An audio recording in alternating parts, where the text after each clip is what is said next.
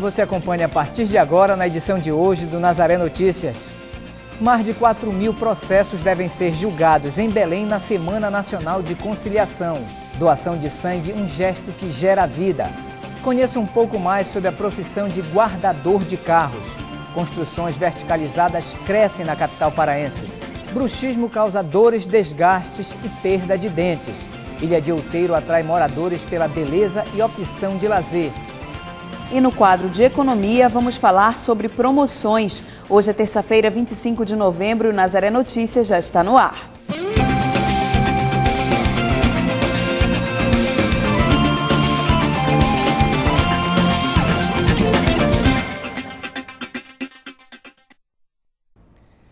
A edição de hoje começa falando sobre o Dia do Doador de Sangue. Hoje o Brasil comemora esta data. Ela lembra cada voluntário ou doador que dedica tempo para ajudar outras pessoas. Pela primeira vez, Shirley vai doar sangue. A iniciativa partiu da necessidade da família e a estudante de 20 anos veio ao Hemopa como voluntária. Para ajudar o meu tio que hoje está fazendo uma cirurgia, está numa sala e pediram para a gente ajudar. Aí foi que cada pessoal, irmão, ia procurar três pessoas para doar. O gesto é simples e garante o bem-estar de pelo menos três pessoas que necessitam de transfusão. Diego doa sangue pela quinta vez. Começou com um gesto de solidariedade, sem um compromisso específico, mas hoje ele vai ajudar a tia de um amigo. Sente que ele está sendo útil, ajudar uma vida, né? Sabendo que, poxa, aquela pessoa ali me ajudou e tal. É muito bom, se sente bem, se sente bem que a gente ajudou uma pessoa. Né?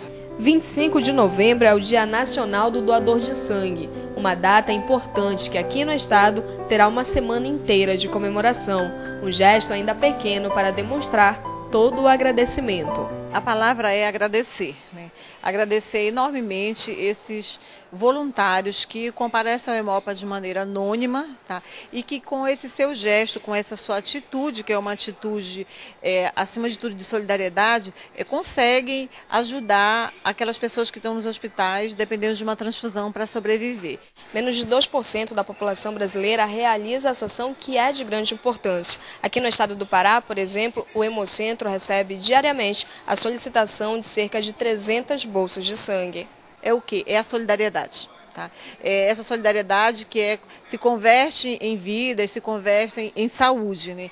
E aí qualquer pessoa que tenha essa solidariedade no coração, é, idade de 16 a 69 anos, peso a partir de 50 quilos e que esteja bem de saúde, pode se tornar um candidato em potencial. Então, fazemos um convite. Amanhã é um dia de festa, mas o Hemopa está com a programação é, no decorrer da semana. É, venha aqui fazer sua doação de sangue e dar um presente, né? já um presente de Natal Natal para quem está precisando de uma transfusão de sangue. O Hemopa tem 400 mil doadores cadastrados. Desses, 47% são doadores de repetição, aquelas pessoas que voltam para renovar o estoque. Alex é um deles. O sorriso simples não esconde um coração grande e gentil. São muitos os anos como doador e hoje ele vai ajudar um amigo. Um grande amigo meu que nós conhecemos no serviço Trabalhei seis anos numa empresa com ele, hoje ele precisa de mim e eu estou fazendo a minha parte para ele. Todas essas pessoas têm uma coisa em comum. Elas não estendem somente a mão, elas estendem o braço, doam tempo, sangue e, mais que isso, doam amor. A eles, felicitações pelo dia e, claro, muitos agradecimentos.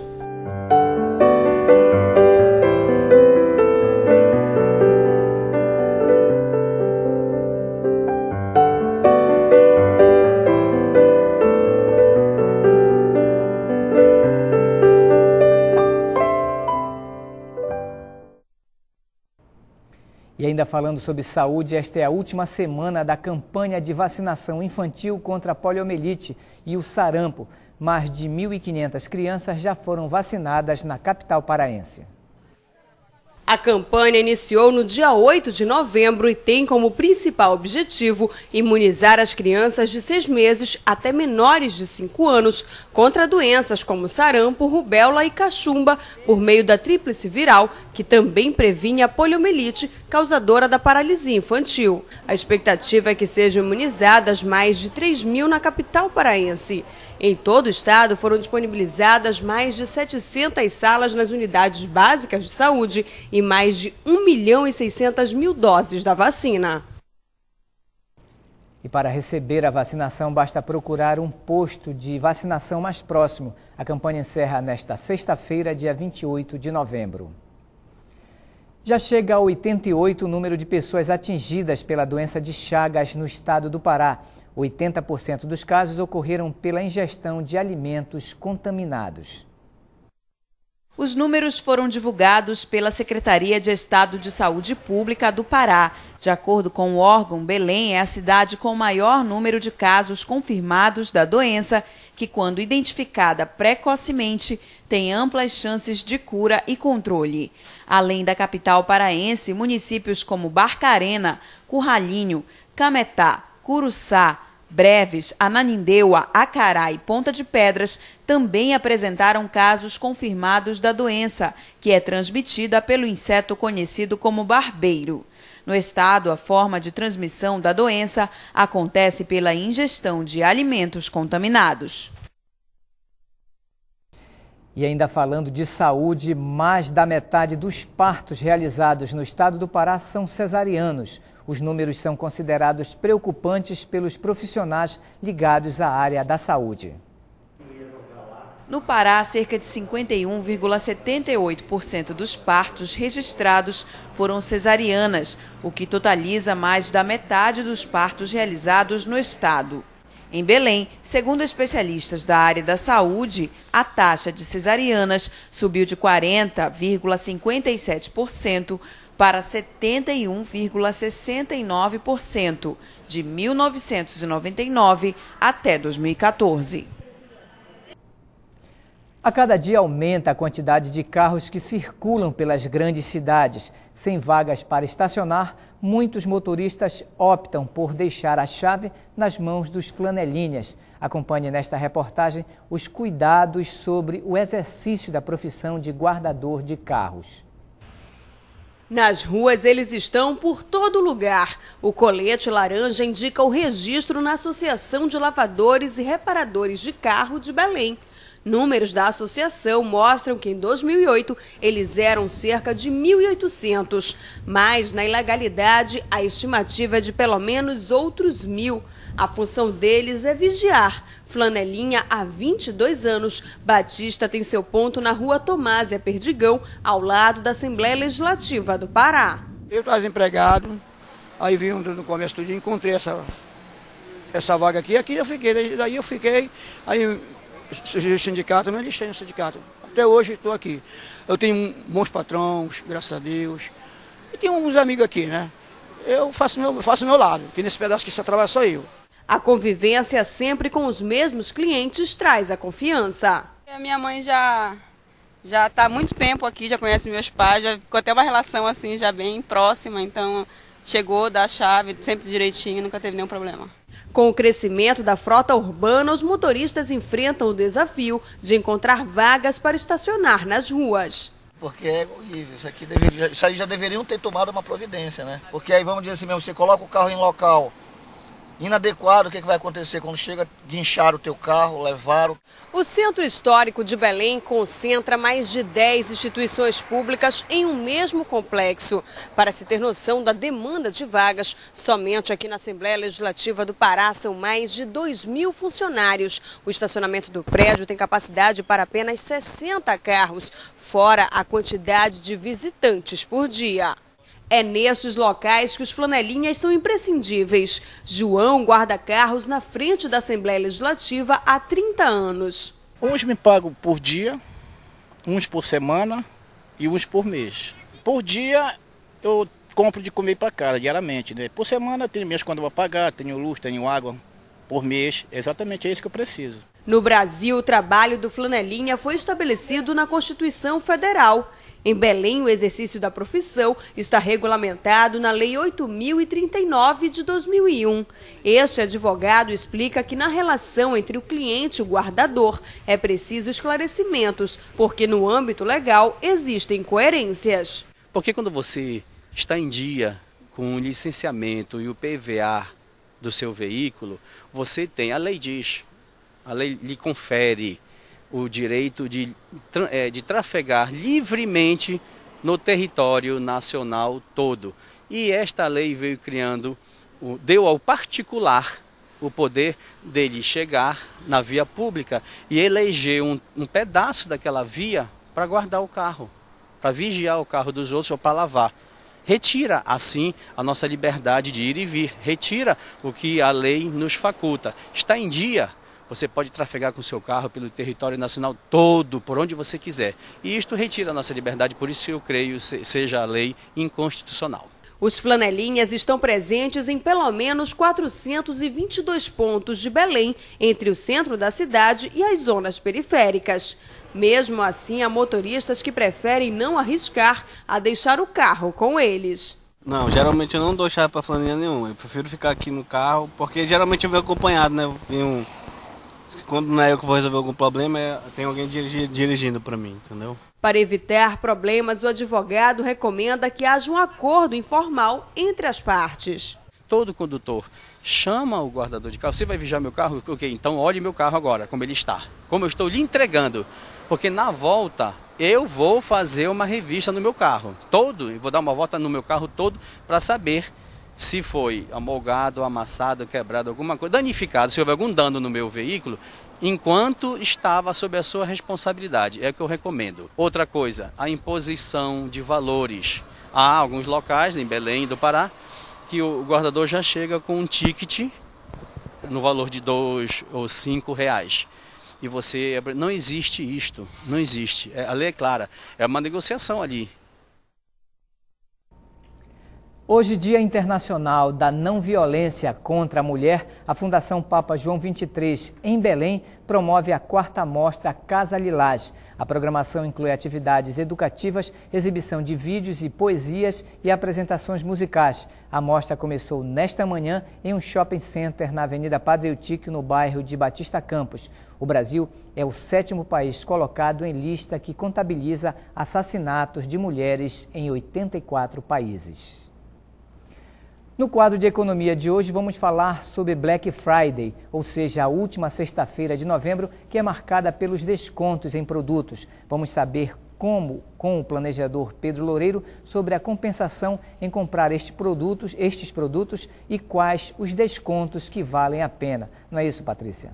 É isso mesmo, Marcos. Como todas as terças-feiras, nós estamos recebendo hoje aqui o planejador financeiro Pedro Loureiro, que vai falar sobre Black Friday, ou o dia em que as lojas aumentam absurdamente os descontos para queimar estoque e as pessoas aproveitam esse dia, não é, Pedro, para consumir mais, para adquirir mais produtos. Mas para isso é preciso ter alguns cuidados, né? Quais são as principais coisas para as quais as pessoas precisam estar atentas em relação a essas promoções? Olha, tem dois pontos que muita gente acaba caindo. São duas armadilhas. Uma é da própria pessoa, né? achar que, ah, como está com desconto, é baratinho, eu vou comprar muito. Então, um objeto baratinho é um objeto baratinho. Se você junta 4, 5, 10, 20 pela empolgação, a conta fica bem mais pesada. Então, a primeira armadilha é ultrapassar o seu limite, o que você pode gastar. E geralmente comprando o quê? Que a gente chama de compra por impulso, comprando objetos que você não vai precisar. Compra só pela empolgação, tá barato e eu compro. Basicamente é isso. A segunda armadilha, isso já vem sendo noticiado já há bastante tempo. Vários institutos que defendem o consumidor, institutos de pesquisa, têm alertado é que muitas empresas começam a aumentar os seus preços, ou aumentam um mês antes do que a gente chama do Black Friday. O que é que acontece? Um mês antes eles pegam o preço, elevam o preço e dão desconto lá na frente na promoção. Certos produtos, você com desconto acaba pagando o mesmo preço ou às vezes até mais caro do que pagaria um mês antes. Então aí já é má fé, uma, uma empresa que faz isso, se o consumidor identificar, ele pode denunciar o PROCON, na verdade pode não, ele deve denunciar. E mais, tire do rol das suas empresas, daquelas onde você compra. Uma empresa que faz isso não merece é, consideração do consumidor. Essas são as duas principais armadilhas. Comprar o que não precisa, uma quantidade maior, ou comprar pensando que tem um desconto, porque o consumidor acaba não olhando o preço ele olha o percentual de desconto. Em promoção, isso é, é muito do consumidor. Ele olha ah, 50% de desconto, mas ele não faz as contas e acaba caindo nessa armadilha. Agora, Pedro, vamos explicar um pouco para as pessoas o que é esse Black Friday, né? O que significa? É um conceito, na verdade, importado de outro país. Olha, como vários conceitos importados que a gente aqui no Brasil é, copia sem nem saber o que está copiando. Eu, particularmente, não gosto desse nome, até pela origem dele. Esse nome, o Black Friday, como essa promoção, surgiu em 1961 na Filadélfia, que é um estado americano é, tido por uma grande quantidade de ocorrências de preconceito, né, em todos os níveis. É um estado que tem muito problema racial. E surgiu esse nome numa alusão a é, é, que eles chamam de Black Day, que são os dias onde tem muita gente na rua, muito carro, trânsito caótico, pedestre, muita confusão. Então eles criaram Black Friday, em referência ao Black Day. Então ele já nasce com uma conotação pejorativa do preconceito, e nós copiamos. Em 1975, ele se espalhou pelo resto dos Estados Unidos e, mais recentemente, para outros países do mundo, que copiaram sem nem saber o que estão copiando. Desde 2005, é o dia de maior venda em todo o comércio americano, durante o ano inteiro. Todo ano, de 2005 para cá, é o dia que mais vende. O que é que ocorre? O Black Friday ele é sempre depois do Dia de Ação de Graças nos Estados Unidos, que é a quarta quinta-feira de novembro. A sexta-feira não é feriado, mas como é o dia de maior, é, é, vamos dizer assim, congregação entre as famílias, quando elas se juntam, eles viajam de um estado para outro para passar o dia de ação de graças juntos, tem até filmes que, que retratam isso. A sexta-feira acaba sendo liberado. Não é um feriado, mas as empresas e escolas liberam. Então, o dia de folga, as pessoas estão juntas, estão naquela empolgação e por isso se criou o Black Friday.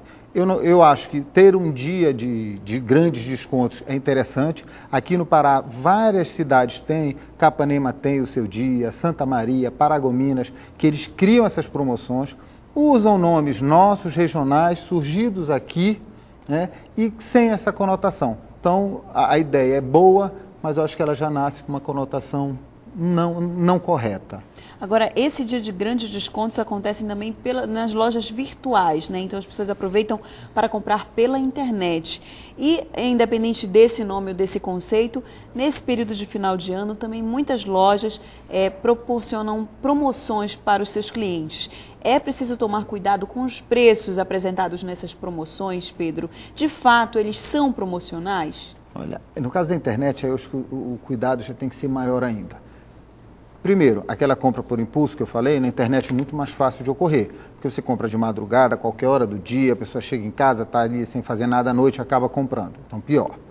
Segundo, o número de ocorrências de compra que a pessoa não recebe no prazo estipulado ou nem recebe a mercadoria é muito grande e também o número de ocorrências que você compra um produto e ele não chega conforme a especificação. E pior, às vezes chega um mês depois. Você compra agora e recebe um mês depois. Tem gente que compra no Black Friday já pensando no Natal, compras de Natal e recebe em janeiro. Então na internet, apesar de ser um meio seguro, se você tiver cuidado com a loja, uma série de fatores, mas é um meio seguro. Só que o que pode acontecer na internet é a mesma coisa que pode acontecer em qualquer loja. O tipo de, de, de, de, de ação comercial incorreta de certas lojas. E na internet tem esse problema. Às vezes você está numa cidade onde não tem aquela loja física. Quando tem a loja física, você tem, como a gente diz popularmente, tem com quem brigar. Na internet é sempre mais difícil. E hoje, quem tem tempo para passar uma manhã inteira no PROCON, reclamando, brigando por um produto que às vezes custou 30, 40, 50 reais, às vezes as pessoas preferem assumir o prejuízo do que perder o seu dia de trabalho ter dor de cabeça. E é nisso que as lojas, aquelas que não têm critérios éticos, que não são todas, mas essas que não são éticas, apostam. Elas sabem que, como a compra é pequena, o consumidor vai acabar não brigando e ela fica no lucro. Agora, como a pessoa pode saber se aquele preço realmente é promocional? Olha, você consegue pesquisar, né? Você que se a compra é por impulso é mais difícil. Como o nome diz, por impulso você está na empolgação é mais difícil. Quando você já vem pensando há muito tempo em comprar alguma coisa e resolve aproveitar a promoção, no caso Black Friday, o que, é que você faz? Você já tem que vir coletando aqueles preços. Você consegue coletar, inclusive no mercado local, porque nem todas as empresas entram na promoção. Por exemplo, a cidade brasileira que mais é, tem adesões né, de comerciantes ao Black Friday é São Paulo. Cidades como Belém, Manaus e outras não tem tanto. Então é muito fácil você comparar o preço que você vê na internet com uma loja física. Então dá para comparar, agora sempre tomando esse cuidado. Se você não sabe previamente quanto custa aquilo, é porque provavelmente você não precisa. Porque quando você precisa, você já vem pesquisando há um certo tempo, com toda certeza. Agora, esse preço promocional ele deve ser ofertado ao cliente, sendo o pagamento à vista ou em cartão de crédito? É, não, pode, não pode haver diferença entre pagamento à vista, de preço, né? à vista e cartão de crédito. Isso é a primeira coisa. Né? Segunda, é, até aproveitando que isso é um tipo de problema que ocorre o ano inteiro, não só no Black Friday, é você encontrar na internet promoções, por exemplo, um tênis que custa 300 reais e ele está sendo ofertado por 30, 40 reais. São preços completamente é, é, absurdos, né? descontos que você não tem como dar. O que é isso daí? Geralmente é golpe, porque você entra, coloca todos os seus dados, coloca o cartão de crédito, coloca tudo seu ali e não recebe o produto. Né? Não recebe e às vezes não é debitado o seu cartão, porque aquela empresa, sendo uma empresa fraudulenta, o que, é que ela vai fazer? Ela não quer vender nem debitar aquele dinheiro no seu cartão. Ela quer o quê? Os seus dados. Então sempre tome cuidado. Se algo custa 200 reais, ninguém vai vender por 20, 30. Não faz sentido. Isso é isca para golpe. Tá certo. Muito obrigada, Pedro, pela sua participação aqui conosco. A gente lembra que todas as terças-feiras o planejador financeiro Pedro Loureiro está aqui conosco falando de algum tema sobre economia. Se você quiser sugerir temas para as nossas entrevistas, o número você, você já sabe é o 4006-9211. Marcos? Obrigado, Patrícia. Obrigado, Pedro. Começa hoje a terceira etapa do projeto Ribeirinho Cidadão nas ilhas de Belém até o dia 30, a Ilha de Outeiro recebe os serviços e audiências sobre questões de alimentos, reconhecimento judicial de união estável, de paternidade, registro de nascimento e emissão de documentos. Outras nove comunidades próximas receberão o projeto Água Boa, Água Cristalina, Fidelis, Tucumaeira, Itaiteua, Vista Alegre, Nilton Miranda, Carlos Lamarca e São João do Outeiro.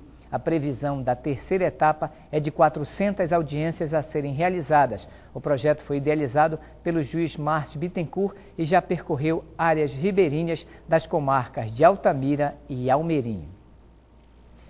Em todo o país acontece a Semana Nacional da Conciliação. Milhares de juízes promovem audiências focadas em chegar a um acordo entre as partes. Em Belém, mais de 4.500 casos serão julgados esta semana. O movimento é frequente no Fórum Civil de Belém. São pessoas com ações na justiça que, nesta semana, têm a oportunidade de negociar e chegar a um acordo.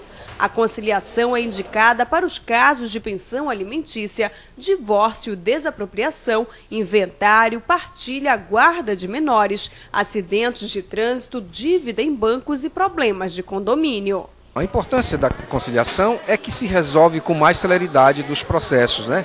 Uh, é um projeto do Conselho Nacional de Justiça, a nível nacional, que foi naturalmente aderido por todos os tribunais e o nosso não poderia ficar de fora.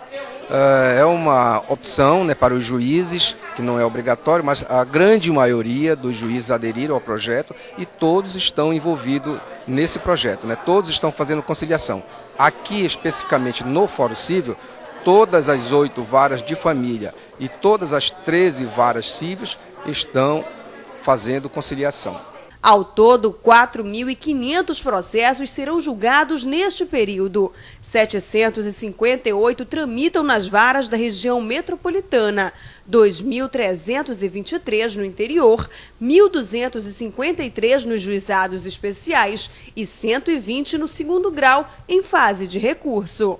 A conciliação resolve os impasses em um único ato. Para as partes, é uma economia, porque evitam gastos com documentos e o deslocamento até os fóruns. Para o Judiciário, reforça o diálogo e diminui o estoque de processos nos tribunais. Para ressaltar a importância da semana, o juiz Cláudio Rendeiro utilizou humor durante a solenidade de abertura. Por muito tempo se, se, se falava que o, o, lúdico ele era incompatível com o ambiente formal. E eu acho que não. Eu acho que você pode trazer humor. O humor ele é um, uma excelente ferramenta de, de aprendizagem. Né? Se você tiver, se for um humor responsável, se não for um humor escrachado, se não for um humor ofensivo, o humor é um instrumento de pedagógico fabuloso. Então o personagem Paminandas Gustavo, ele tem essa essa essa finalidade, né, de estar trabalhando com humor, mas passando através do humor temas muito importantes, sério. A cidade de Marabá, no sudeste do Pará, recebe a visita de um caminhão transformado em museu. O projeto é organizado sob forma de exposição interativa e se propõe a revelar a história dos conflitos agrários no país. Marabá é o primeiro município da região norte a receber a visita do projeto. O Caminhão Museu já percorreu seis estados e 15 cidades brasileiras desde março do ano passado. O caminhão também dispõe de sala de leitura, área para palestras e cinema. E você acompanha ainda nesta edição: construções verticalizadas crescem na capital paraense. Bruxismo causa dores, desgastes e perda de dentes. E Ilha de Outeiro atrai moradores pela beleza e opção de lazer. Voltamos com Nazaré Notícias falando da crescente verticalização dos grandes centros urbanos. O constante aumento populacional no país vem se intensificando nas últimas décadas e, com isso, em cidades onde se esgotou a possibilidade de crescimento horizontal, expandiu-se a verticalização, um risco para a qualidade de vida da população.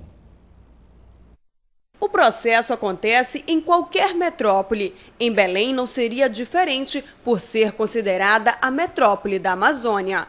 Estudos mostram que esta é a capital mais verticalizada da Amazônia Legal. Por aqui encontramos prédios de até 40 andares. De maneira geral, cada cidade define normas específicas para as suas edificações.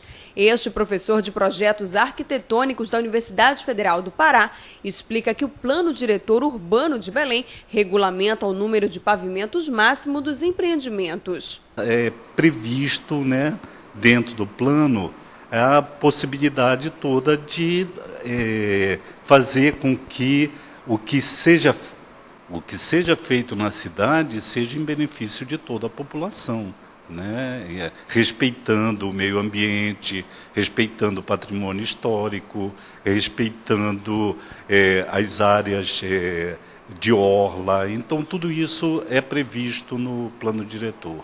A circulação de pessoas, problema de, de trânsito, de tráfego. Então, é, tem o desenvolvimento específico de cada área dessa nas diversas secretarias que procuram sempre acompanhar ah, o que seriam as diretrizes do plano diretor. A verticalização esbarra em pontos ambientais. A construção de novos prédios na Orla de Belém, por exemplo, foi proibida em 2011 pelo Ministério Público do Pará, porque as obras impediam a circulação da brisa produzida na Baía do Guajará. Este processo já era previsto no passado. Na década de 90, estudos já apontavam para a expansão da utilização em solo urbano de Belém para construções com fins intensamente verticalizados. Na época, este processo era concentrado principalmente no centro da cidade.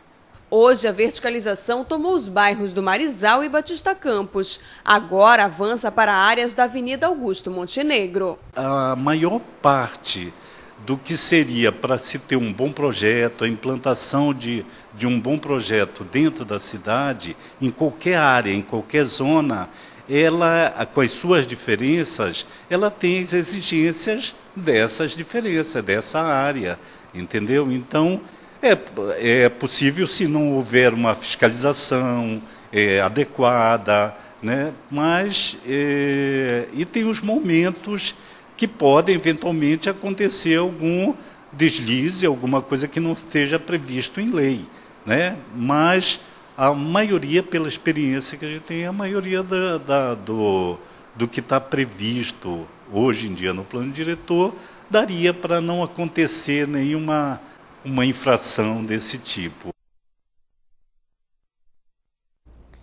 De hoje até quinta-feira acontece na Universidade Federal do Pará a 17ª Jornada de Extensão. No evento estão à disposição da população serviços como exames de saúde, orientação financeira, jurídica, minicursos e oficinas. A programação acontecerá nas cidades de Belém, Bragança, Breves, Castanhal e Cametá.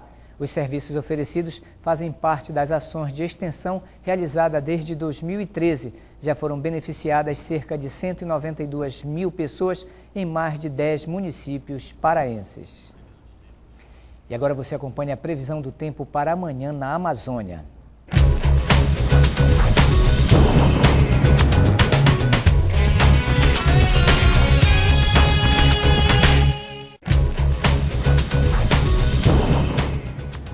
Em Belém, no Pará, o tempo se manterá estável. A quarta-feira começará com o céu parcialmente nublado. A temperatura mínima será de 23 e a máxima de 34 graus. Em Rio Branco, no Acre, o dia será nublado e com pancadas de chuva, que se estenderão até o final da tarde. A mínima será de 22 e a máxima de 32 graus.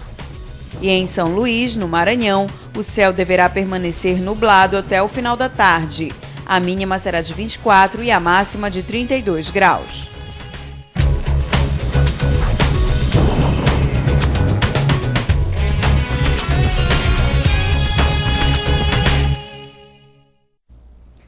A Receita Federal de Santarém destruiu 400 quilos de mídias piratas entre DVDs, CDs de música e de jogos. Os produtos foram de apreensões realizadas nos últimos quatro meses em Santarém e nos municípios vizinhos. Entre as operações está a do Sairé, realizada nos meses de agosto e setembro.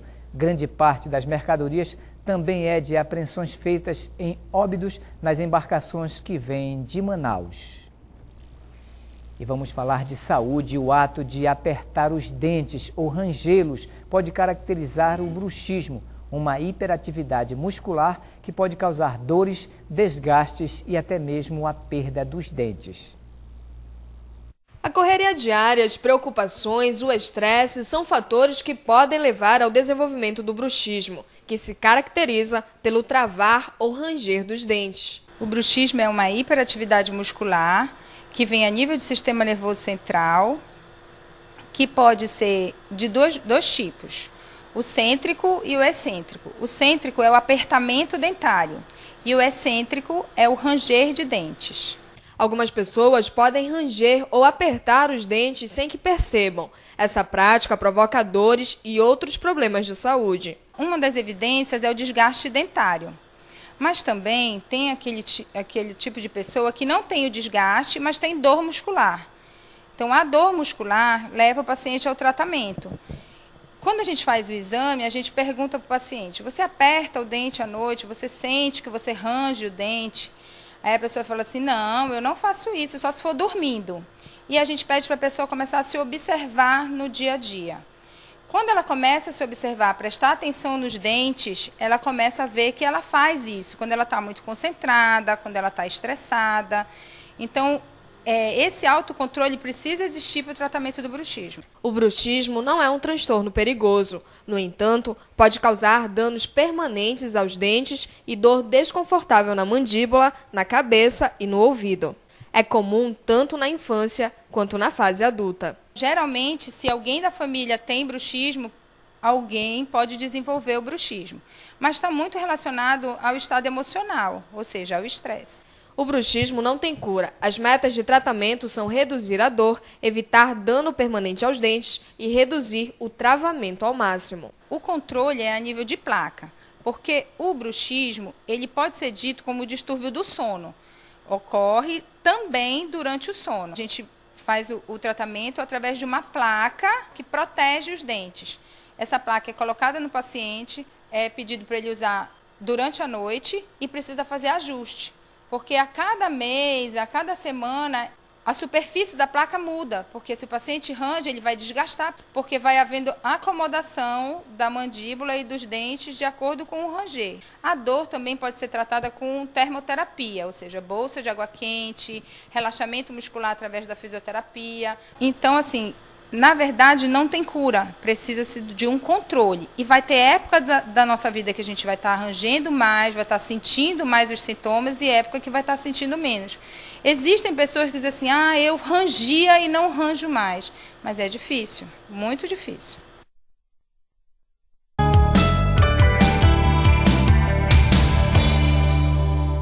A minha dica de saúde é a possibilidade de tentar evitar as doenças do coração, principalmente aquela relacionada ao infarto agudo do miocárdio. Essa percepção da mudança é, da, para evitar o infarto passa desde a adolescência, quando você precisa ter uma atividade física regular, é, você precisa ter alimentos, é, alimentação saudável, é, evidentemente procurar evitar o excesso de bebida alcoólica e, com certeza, evitar o tabagismo. Com isso, você vai ter é, uma vida adulta melhor, é, chegando à fase é, da idade mais avançada, que para nós aqui no Brasil nós é, chamamos de idoso acima de 60 anos, uma saúde é, muito melhor quando você começa desde a juventude.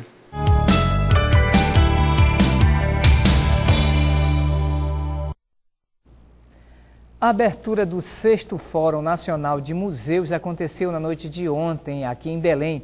Representantes de várias instituições estiveram na solenidade. O Fórum de Museus é realizado a cada dois anos e este ano tem como tema Museus Criativos. O evento é uma iniciativa do Instituto Brasileiro de Museus, que é uma autarquia federal. A solenidade de abertura contou com a presença da ministra interina da Cultura, Ana Cristina Vanzeler. O objetivo do fórum é refletir, avaliar e delinear diretrizes para a política nacional de museus, para a implantação de um modelo de gestão integrado dos museus brasileiros, por meio do Sistema Brasileiro de Museus. A programação, que acontece no Hangar, em Belém, seguirá até a próxima sexta-feira. Durante toda esta semana, o Espaço Memorial Amazônico de Navegação, localizado no Parque Zoobotânico Mangal das Garças, aqui em Belém, recebe visitantes para a programação do Fórum de Museus. O espaço disponibiliza amostras de, das características e evoluções dos transportes fluviais da Amazônia. A entrada é gratuita e faz parte do 6 Fórum Nacional de Museus na capital paraense. Vamos conhecer agora a ilha de Outeiro. Ela fica a 45 minutos de Belém e atrai cada vez mais moradores pela tranquilidade, pela ótima opção de lazer e pela bela paisagem. A água doce atrai os banhistas. As crianças então se divertem. Eu gosto de nadar. Eu gosto de da praia. Enquanto as crianças se divertem, os pais aproveitam o almoço caseiro na areia. As praias são o principal atrativo de Outeiro. Nos domingos e período de férias escolares, o público por aqui pode chegar a 100 mil pessoas. Preocupação para os guarda-vidas, que registram centenas de crianças perdidas. Quando você tem um domingo que está lotado, o quantitativo de ocorrência maior é de crianças perdidas. Fora isso, quando o quantitativo está pequeno de pessoas na praia, você tem mais casos de pequenos acidentes, pequenos cortes, né? Para evitar incidentes com os netos, Dona Margarida coloca a barraca bem próximo da água. Moradora de Outeiro há pouco mais de um ano, ela trocou o estresse da capital pela tranquilidade da ilha. Muito barulho agora. Quando eu vou em Belém já acho barulhenta a cidade, muito calor para lá, quente. Aqui não, aqui é muito bom. Gosto de Outeiro. Outeiro fica situada a 18 quilômetros de Belém. De van ou ônibus, o tempo de viagem é de aproximadamente 45 minutos. A ilha de Outeiro era chamada de Caratateua pelos índios, que na língua tupi-guarani significa lugar de grandes batatas, já que a batata doce era muito frequente na ilha. Mais tarde, os portugueses a batizaram de Outeiro, que significa os pequenos morros que encontramos com frequência aqui dentro da ilha. A ilha é povoada por cerca de 90 mil habitantes. Alguns tiram no comércio seu sustento e na convivência diária no local sabem das dificuldades e pedem melhorias. Em Outeiro está precisando muito é infraestrutura, né? Coisa de saneamento básico, essas coisas. Mas a bela paisagem supera qualquer problema. Por isso, o local atrai cada vez mais moradores, como o paulista Alceu Rodrigues. 10 anos, dificilmente eu, eu me mudo daqui. Eu sou de São Paulo e gosto muito desse lugar aqui. O que, que lhe atrai? Principalmente isso aqui, a natureza. Entende? Natureza, proximidade com a natureza.